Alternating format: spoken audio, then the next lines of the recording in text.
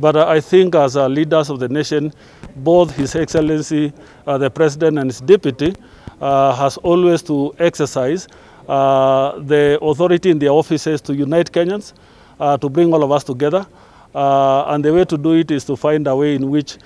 they can be able to be closer, not far apart, not only them, but to bring the country closer. When we see a, a tearing apart, uh, that is a reason to worry for every Kenyans because uh, you know they will tear the country, uh, uh, and, and each one of them has a following, uh, and therefore uh, we cannot afford, even in the church leadership, uh, we cannot afford to display uh, publicly uh, divisions that there could be.